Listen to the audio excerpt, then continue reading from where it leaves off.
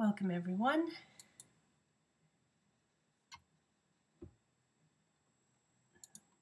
My name's uh, Debra McDougall, and this is a picture of me. This is the second online lecture for, or the second lecture for the module on society and culture. And I've titled it Wok Bilong Straksa, a term from Michael French Smith's book, Contested Models of Society in Familiar and Faraway Places. And I want to leap right into that book and direct you to look at a couple of chapters, chapter 6 and 7, that deal with um, Kragur Islanders reflecting on their own on their own social structure, which is our, our topic for today. So if you look at the beginning of chapter um, chapter six, he's just finished a chapter uh, looking at whether or not Kragur is poor um, or um, because people have very little cash, but they have a lot of their land. And that, that chapter six then starts. If land is at the heart of village life, family ties, sometimes through marriage, but primarily through descent through males from a common male ancestor, patrilineal descent, are the heart of questions about land. So this is a chapter that's going to look at family ties and fa- and especially on the ways in which villagers of, of Kragur are trying to understand their own descent relationships.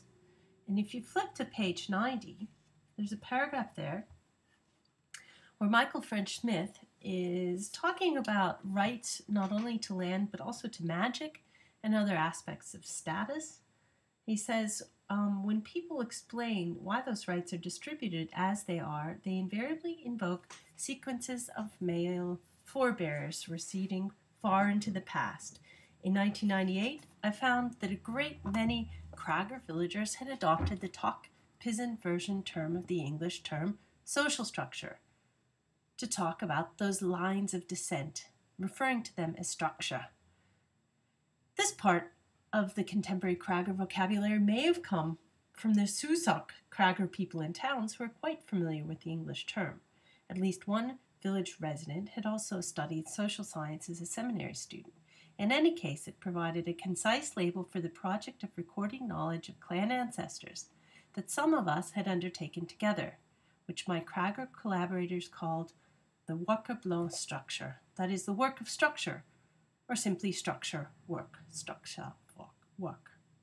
One product of structure work is a set of charts showing sequences of descent through males reaching many generations into the past, the kinds of charts that Richard showed you of patrilineal, patrilineal kinship last week almost as important as these records of the ancestors' names, Smith goes on to say, are the stories that go with them, stories about the migrations and the other exploits of the ancestors that eventually brought them to what is now Kragur and through which they acquired whatever knowledge and rights they passed down to their descendants. So I found that pass the passage is interesting um, because it deals with um, with my topic for today, which is really models of social structure. And I'm to, let me just, um, models of social structure and especially models of descent and how those are taken up and mobilized by people like Kragur villages. I'm also interested in what falls out of kinship when people are focusing on those lineal models of descent. And I'm also interested in asking questions about why Kragur people and others in situations like them are concerned about writing down genealogies and stories about their ancestors. Now, there is a paradox here.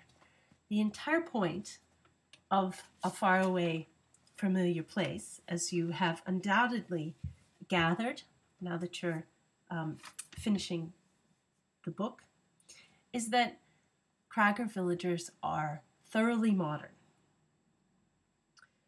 Um, don't be fooled by the lack of technological gear, says Michael French Smith at the end of the second or third chapter. They are thoroughly modern.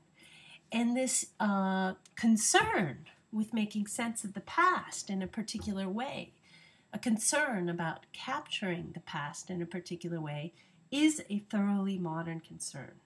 So even though people are thinking about their ancestors and thinking also about the kinds of relationships that link them to this particular land and to one another in this very local place, in this highly specific way, that concern is a concern that their grandparents and great grandparents would not have had. They're drawing distinctions between customary ways of doing things and modern ways of doing things that just wouldn't have been relative, uh, relevant a couple of generations ago. So Michael French Smith uh, makes the point a few times that Kragur villagers and people of the eastern Sepik um, in many generations past would have seen themselves as part of a social world focused and centered on, on them.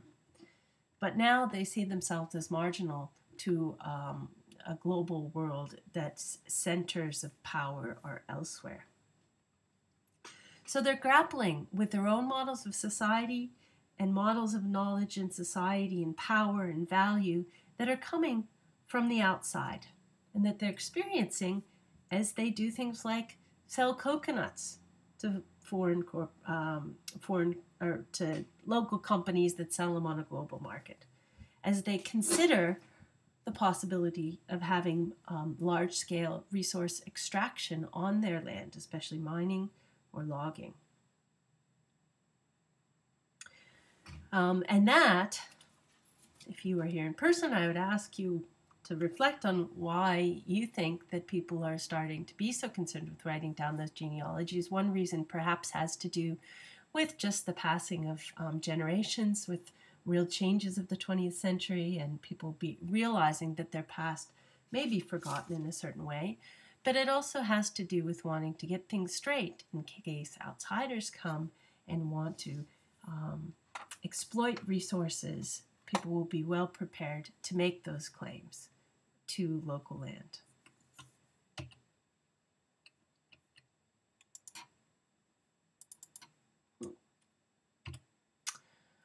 Okay. I want to say a few more things about uh, models of social structure, but cast the lens a bit wider uh, to begin with and think back on what you have all learned so far about personhood about social relationships and about um, and relate that to questions about social relationships in groups. Now, as Richard um, discussed in earlier lectures, a lot of Western social theory, both by social theorists and people like sociologists and anthropologists, but also ordinary people, often tends to assume that persons are autonomous individuals. When we ask questions about the nature of society, we say, well, how do people enter into social relationships? How do they join groups? Um, what makes them have faith in particular gods? How do they acquire property and so on? And how is that? But as you've learned from uh, several of the readings, the readings on Wari people of the um, Amazon, readings about Central Desert Aboriginal people, um, that was the focus of last last uh, week's reading by Diane Bell, you've learned that other people don't think of personhood in that way. Um, they may consider people to be individuals to some degree, but the person is first and foremost made in and through social relationships um, and by in those relationships with other people and sometimes non-human entities like god spirits the land um, and so on. Uh, and, and that in a certain way, they might think of themselves as being those things or, or being born of those things. So you saw in the Diane Bell reading women talking of not only land but ritual objects as, as addressing them with kin terms. Um, so, from a worldview like that, your natural questions are not, well, how do I enter into social relations or how do I become part of a group. That's almost kind of taken for granted. But one of the things I really like about Michael French Smith's book is that he um, makes it clear this isn't some really stark dichotomy between different people. So he says, um, in when he's talking, when he's talking about models of relation personhood on page 30, um, he's talking about people struggling with the new challenges of a cash economy in a place where sharing is really taken for granted. And when he's talking on page 82 about land um, and the idea of anthropologists, including actually one of the scholars who's written about the ways in which people um, are really made by and connected to one another through land is James Leach, who's here at UW as a research fellow. Smith um, describes those theories, says they help to explain a lot, but we shouldn't overblow them by forgetting the ways in which Western individuals are also really bound to and feel themselves to be made by particular places, and also the way that Melanesian people um, may lose those connections and, and, and not be as bound to social life. But we don't want to over essentialize that, but these are quite different ways of approaching questions about social relationships. And one of the things I want to suggest is that these are different models, but those Western understandings of person groups and prop group and property have really had global influence, not because they were right, but because Western social forms have exerted power over places like Kragur for um, a couple of centuries. So, in a, a, model, a really basic understanding of society that says, okay, where's the group and how are people members and how do we link those individuals into groups and how do we bound those groups so we know who's in and who's out, those models, those really basic assumptions and basic questions about society, um, are ones that people like people in Kragur Village and elsewhere in the world have to deal with, whether or not they resonate with their own indigenous understandings. So, models of social structure. No model captures all aspects of social reality. I want to suggest that models of social structure both shape and depict social relations. So it's not just that we're um, whether that, that when people um, describe or depict social relations or institutions, they're just depicting it from afar, like a like a satellite map or something. These are also a little bit like um, architectural plans to to draw a metaphor from the anthropologist Clifford Geertz. They're sort of map that tells us how things ought to be as well as how they are. They're models of society and models for society. And I really want to emphasize that these models are contested and they're enmeshed in power relationships. Now, this is all rather abstract to think about in relation to early modern Melanesia, Kairiru, Kairiru Island, which Michael French Smith has talked about, and the Western Solomon Islands, not far from there, but in a different country where I've spent um, many years doing, uh, several years doing research. Uh, that's what I want to come back to. But first, I want to talk to much, about a much more familiar example. That is our institution, UWA. What is UWA? And here I actually want to pull up just briefly those three 19th century social theorists that Richard mentioned Max Weber, Marx, um, Karl Marx, and Emil Durkheim to sort of illustrate how they might differently, or uh, their approaches would differently answer a question like UW, well, what is UWA?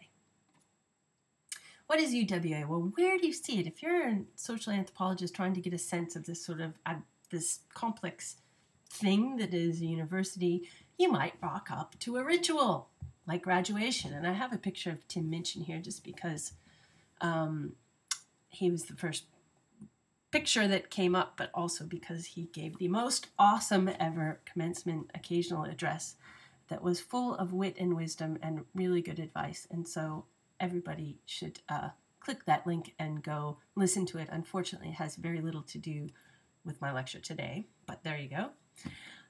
But this ritual event brings otherwise quite fragmented individuals, people who may not see themselves ever. When I attend graduation in my graduate robe. I see people, my my colleagues from even across the faculty and across the university, I otherwise never see, and I don't know them, and yet we're brought together in a way in which it's very clear that we are in a part of some broader social whole. And the speeches, such as that given by Minchin and others, if they're effective, they really, and his really was, I think, they really make us feel that we're part of that, that we're no longer just an individual struggling uh, and um, struggling away, whether we're teaching or whether we're studying, but we are as part of this broader sol- community that has a certain solidarity. You also see it in American universities, extremely clearly in sports events. Um, and you, you know, you see that in any kind of sports events when you have that sense of your own identity being really bound up with a collection of people you might otherwise not see, but are brought together um, as supporting the team, and that unity is then somehow symbolized in the in the team that's playing. So that really is a Durkheimian approach. Durkheim's question was how are these, you know, how are individuals brought together, especially in non-state societies, and um, and he was also interested in what religion was. He thinks religion is all about society. That religion um, uh, projects uh, a sense of social unity onto a transcendent plane. God is society. God is our representation of society. Okay, now,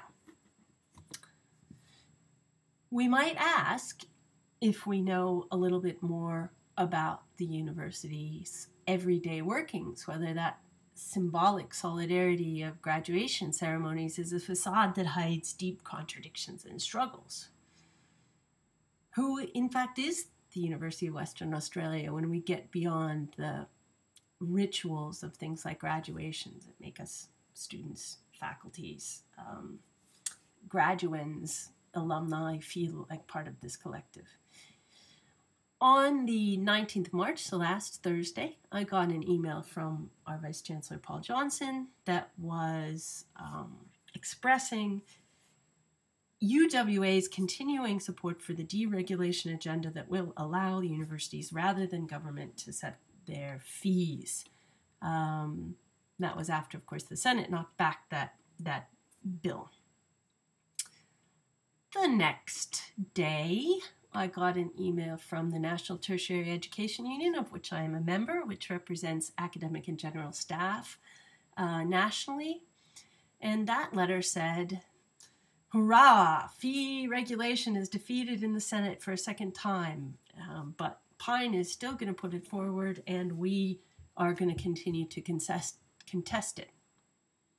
Well, there are a lot of union members of UWA in the faculty and uh, the academic and general staff.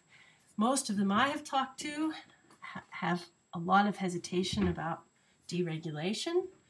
So, does the University of Western Australia continue, continue to support the deregulation agenda?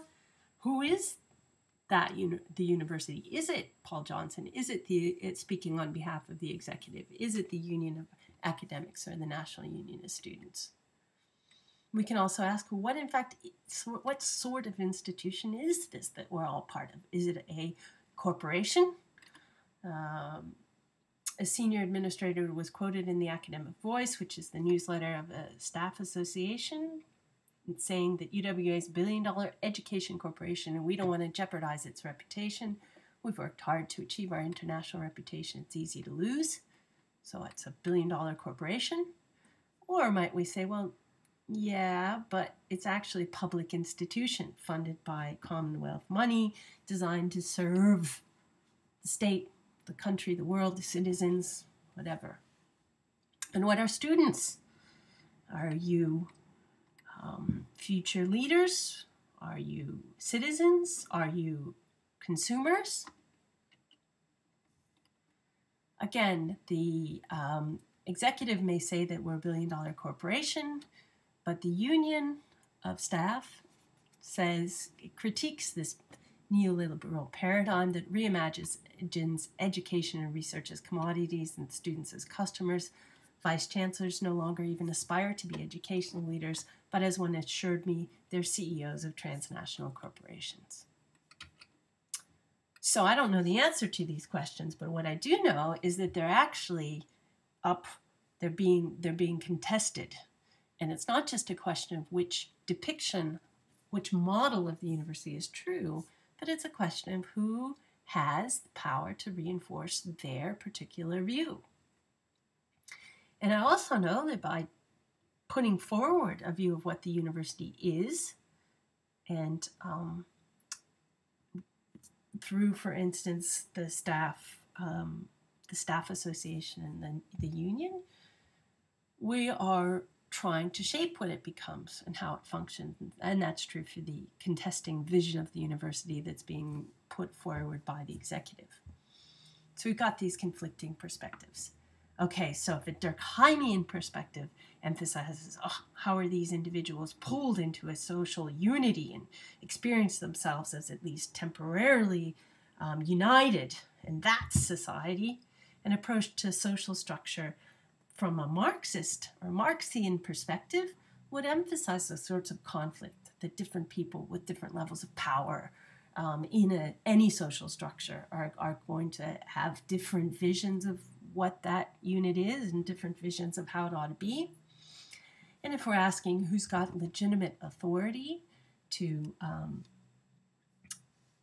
the legitimate right to exert authority over such things as university policy, then we're starting to ask questions that might come out of a Weberian perspective. So there are all sorts of different ways of understanding social structure and institutional structures and we can see that in our in our own university.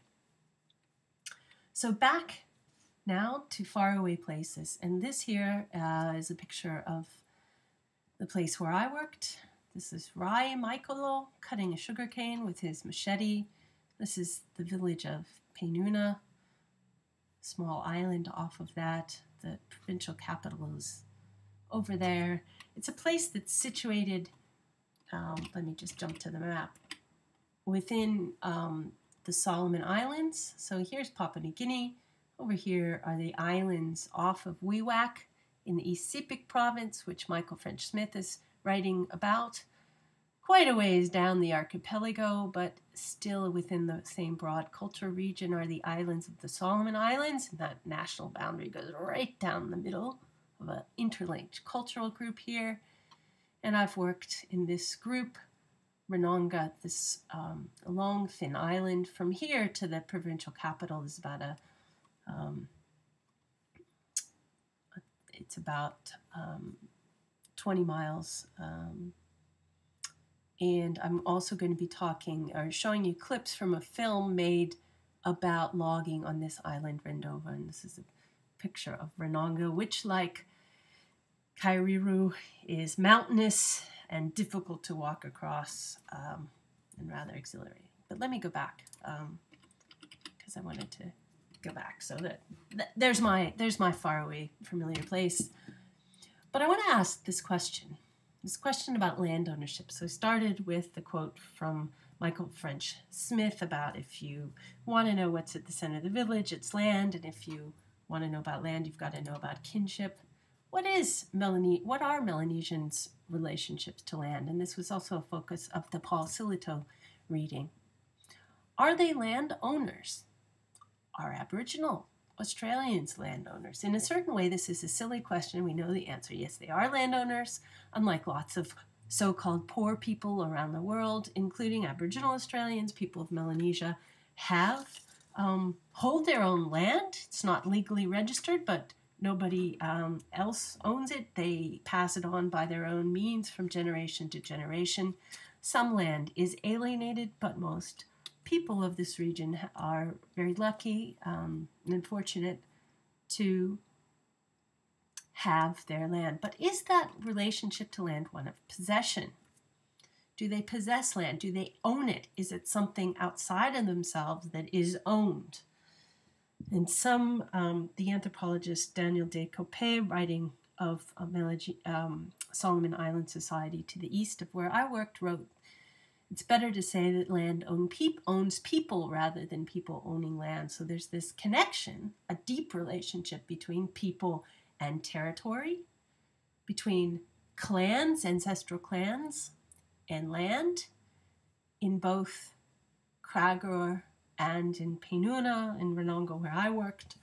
People um, think of their ancestors or tell their mythical origin stories that depict them as coming out of the land itself, up from the sea, up, up from a river, down from heaven, and so forth. So this is a deeply emplaced worldview, as is also true for Aboriginal Australians, as you learned in the Bell reading. And yet in Melanesia, and this differs somewhat from Aboriginal Australia, uh, there's also a real sense that you own or you control, you have power over property that you create by clearing the large forest of trees to create clearings for gardens, like this one in the picture, to create clearings for settlement, and to plant nut trees. In the past, it was nut trees, now coconut trees. So there's this sense um, that is not so different from the sense that we have in Western theories of property from John Locke through Marx that property is created by human labor and its land is transformed by later labor and that creates property.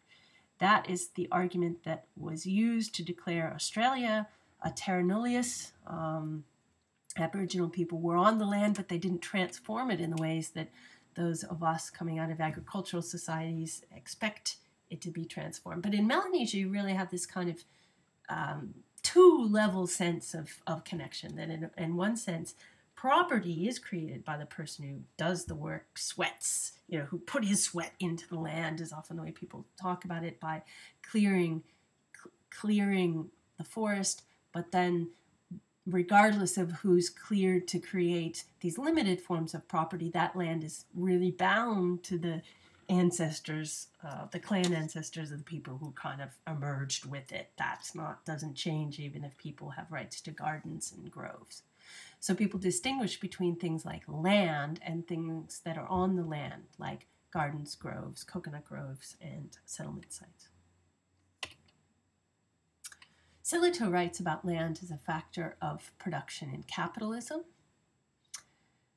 Goes along with labor and capital Melanesia has um, uh, successive colonial governments and post colonial governments have done pretty much everything they can do to encourage capital investment, including keeping wages um, very, very low despite high demand. Uh, basically, stealing some of the best coastal land from people and giving it at very low rates to multinational corporations from the 1900s onward, and so forth. Um, but still, land uh, is not entirely pulled into that um, economic system.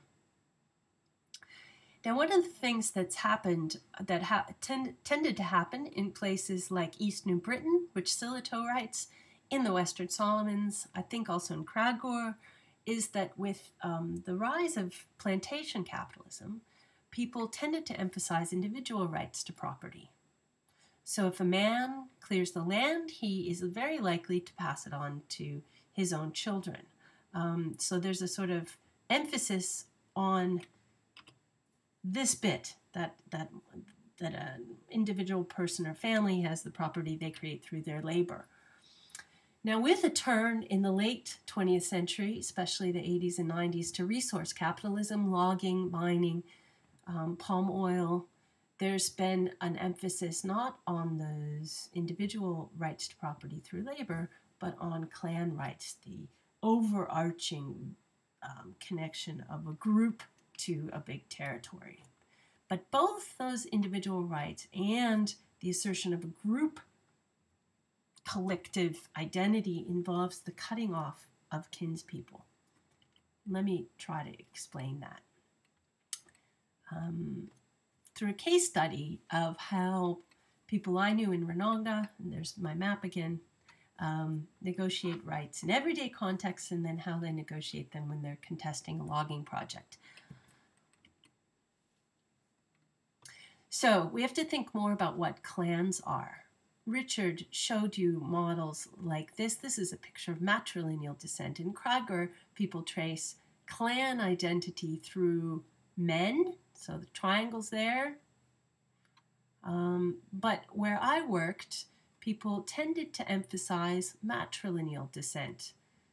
Some areas of the region they would affiliate with either clan of the of either parent, but where I worked, people at least emphasize this matrilineality. So instead of a man as a founding ancestor, you have a woman, and her children are red. That's marking the membership in the clan. But this guy's children are not of the clan. Her children are, and her children are. So his sister's children are his clanmates. His own children are not. And in each generation, that's the same. So her children are part of the clan. Her sister's children are part of the clan. Her brother's children are not. So on.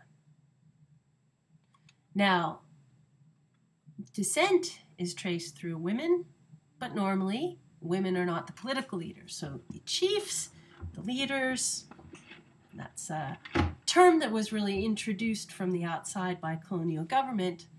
Chiefs tend to be men. That's changing somewhat where I work, and I won't talk about that right now, but it's quite interesting. But chiefs tended to be, so in a classic sense, this man might be the leader of the group, and then not his children, but his sister's children would take over clan leadership of and and leadership of the land.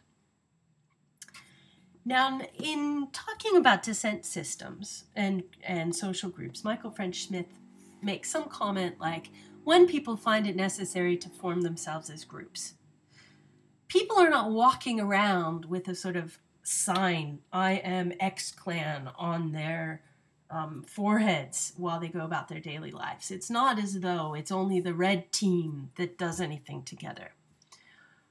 Um, a woman and her husband are of different clans, but that household is the main, usually the main economic group. When people come together for community work, they work with all kinds of their um, in laws, their collateral um, relatives, and so forth. So so just as we um, don't go about always thinking of ourselves as UWA, and it's often only in the ritual moment of graduation that we feel ourselves very strongly to be part of this broader collective. So, too, it's often, particularly in funerals, when a clan member dies, that people really come together and mark themselves as persons of a particular clan. But when people begin to think, well, what is our social structure? And they begin to depict it with these kinds of things, then suddenly those connections become quite obvious and it seems to see that all those others, those white ones, are different. These guys, you know, so these these two and these two, the the these two and these two are what we would call first cousins. They're cousins um, but they're in and they're out when you start focusing only on descent. Same here.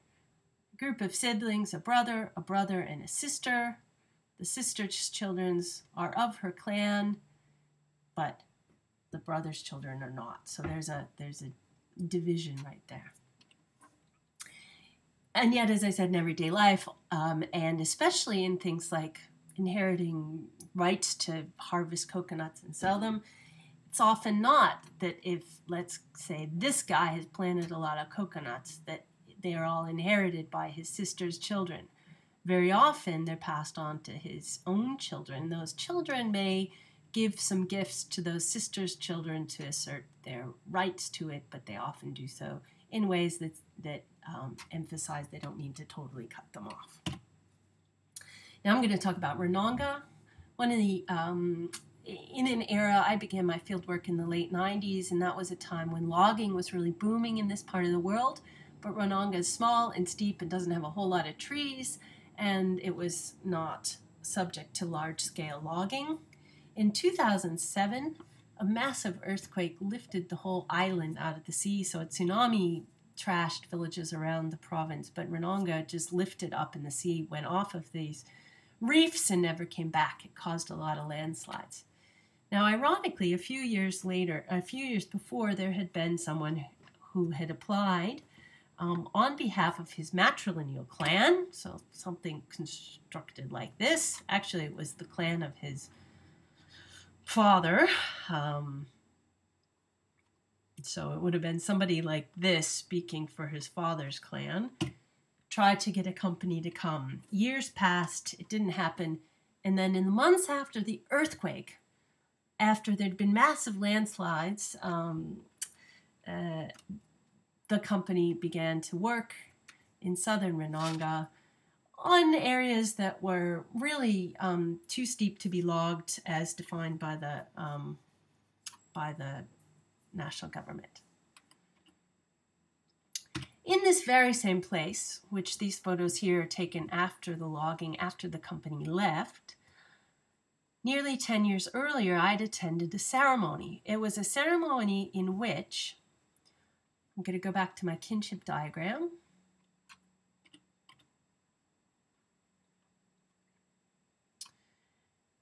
There was an old man, let's make him um, let's make him ego, who was nearing the end of his life. He had no children. He wanted somebody to come to this place and look after him and look after this place after he was dead.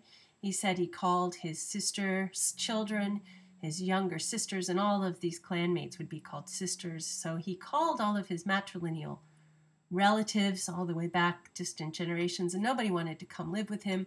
So therefore, he asked his brothers, children, son to come and live in this place called Banyata.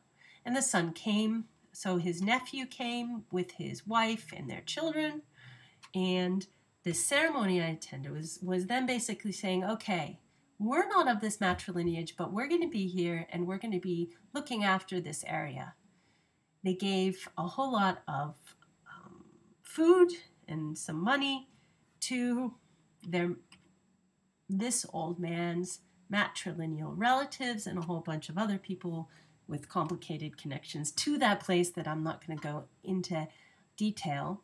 But as they gave these gifts, which basically might be interpreted as a kind of payment, you know, I'm paying you for this land now, we've got it. They said, This is just a little bit of food, a token of our love for you as our brothers and sisters and aunties and uncles. Um, we're not really doing anything. We're just we're just here. But of course, to anybody who knew anything, they were saying that if you come here, you want to build a house, you've got to ask me first. So it was an assertion of power that was an attempt to not assert power because to do that would be to tell other people they didn't have any rights. They weren't sharing in that property and therefore they weren't really family. Now all that fell to pieces when the company came. There's picture of the logging camp. By the time I arrived, it had already left again.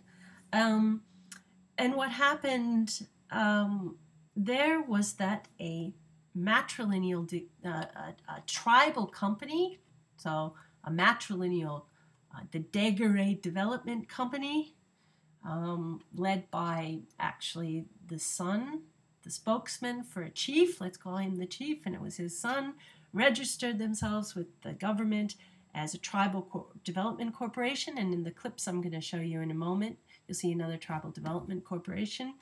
And they um, they got this license to log. Now, when that began, it had been uh, there were some legal irregularities, and a lot of people rightly thought it was really stupid to log land that had been devastated by landslides um, only a few months earlier.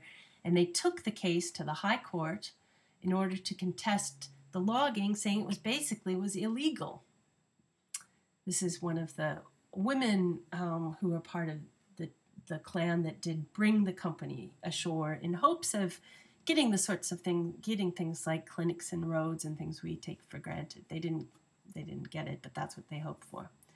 So there was a court case in the legal courts of the Solomon Islands and it was initially about saying, hey, this procedure was wrong, it was illegal, and by the way, the land is too steep for logging, it causes too much erosion. But the High Court sent those guys back um, and said, You have no right to say anything about this land unless you can prove yourself a tribal landowner. So they then dug back in the mythology um, because, in fact, as is the case in almost every place on Ranongga that I've ever done any research on, there's an original clan and then there's one that migrated and got some rights from that original clan. And often people say, oh, well, we live together as brothers and we don't distinguish between one another. But the, the ones who contested the logging um, then went back to court constituted as a tribe, as a clan with a contestant and with a with a different claim. And I think that's really sad because instead of being able to say, "Hey, this is bad for the whole community," they were forced to sort of say, "Hey, we're challenging your land rights."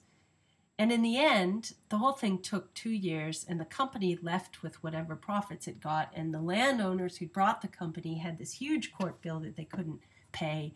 And in the meantime, people had confronted one another with machetes in the bush, and there was none of the development that anyone hoped for. So it's quite a sad story.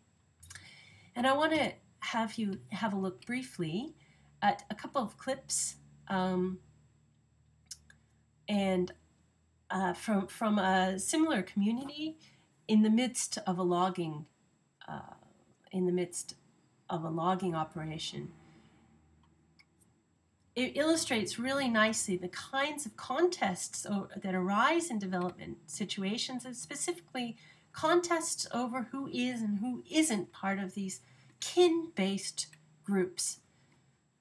So, the first, and it's also interesting to um, have a look at the gender dynamics because this film um, focuses on the distinction between men and women and their quite different perspectives on logging. Um, and uh, the women's voice in in um, articulating a certain approach to kinship. So some of students in my toots last week were quite curious about the centrality of women in the accounts of ritual and knowledge of land in Diane Bell's account and the relative absence of them in Smith's account. Does it have to do with the local social dynamics or the um, perspective of the ethnographer. And I'd encourage you, if you do, uh, uh, I'd encourage you to go watch that whole film, but also um, to pay to to think about those kinds of gender dynamics. So let me just go to those clips if I can.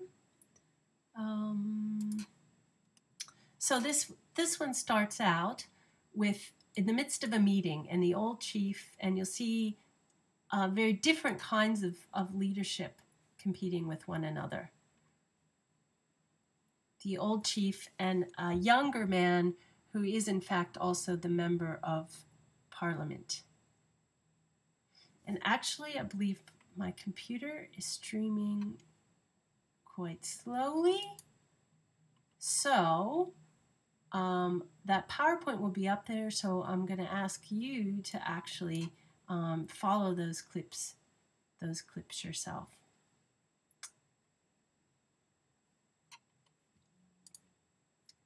And you can discuss um, what's going on there and discuss particularly what the uh, woman who's speaking, Katie Sopa, what she's talking about when she says, um, she's, she says that people today don't share, people today um, are, are fighting over who's part of the tribe, who's descended from the mother. And that's not custom. We have a matrilineal descent system, but it's not customary to cut people out. And there's also a, um, a part of a clip that in which an older man rebukes his son for telling outsiders to go away. So it's an interesting case study of what happens when, for reasons that have to do with outside pressures around development, and I should say it's coming from the outside, but it's something that local people do um, embrace. They want a different standard of living. When the, when those outside pressures encourage people to define themselves as a descent group rather than as a broader community. So, to recap, whether we're talking about Melanesian land tenure or whether we're talking about the University of Western Australia, there's no one single model that captures all aspects of social reality. Our models, like this one, shape and depict, they don't just depict, they also shape social relationships. And you see that process going on as Kragur villages or villagers are recording their own genealogies. That's not just a record that's going to shape what comes next. And I also want to make the point that anthropological and sociological analysis is not just figuring out what model is correct, but it's also understanding how people use those models to understand and change their social worlds. And now that video is coming up. So I'm going to just let it uh, go. He's speaking a version of Pidgin, talking about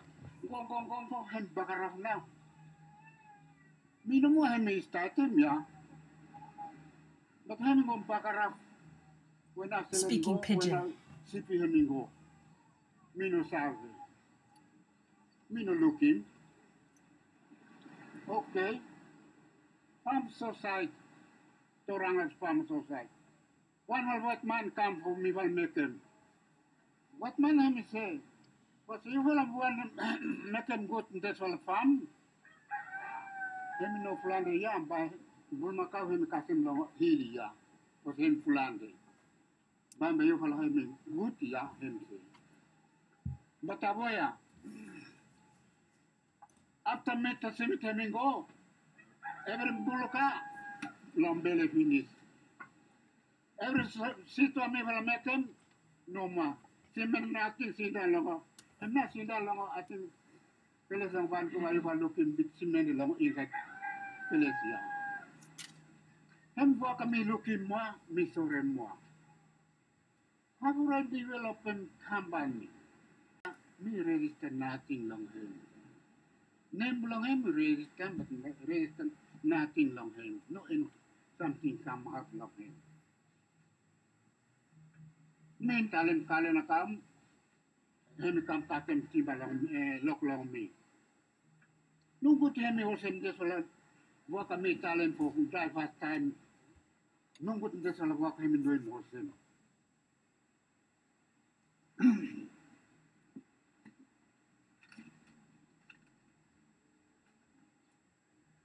Okay, for the fourth time this time, I want to get rid of the executive.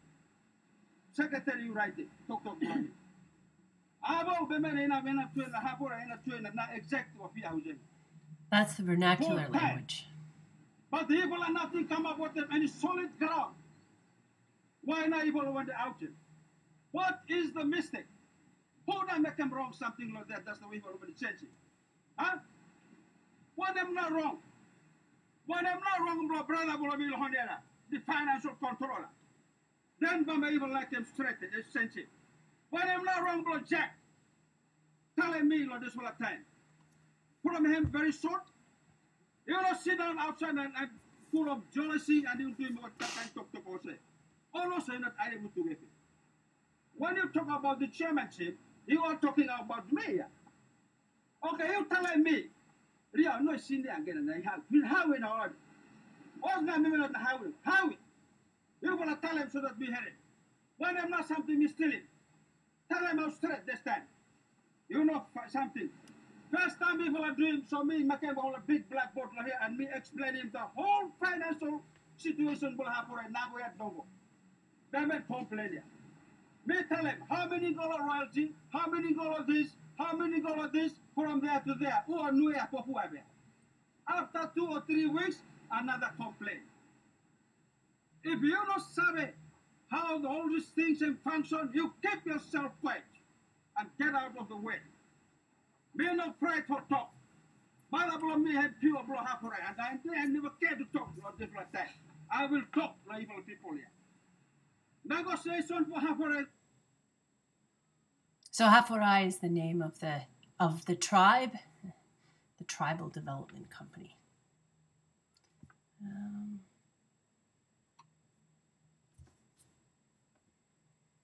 this next clip is a woman named Katie Salpe, who is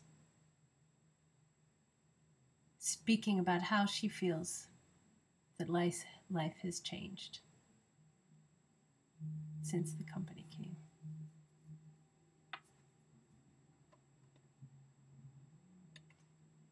But as before, this is very slow. I hope you have faster computers and I will let you do that yourself. So thank you very much indeed for your online attention. If you'd like to talk to me about things Melanesian or anthropology or anything else, please um, come along to my consult hours or contact me to make set up a meeting. Thank you.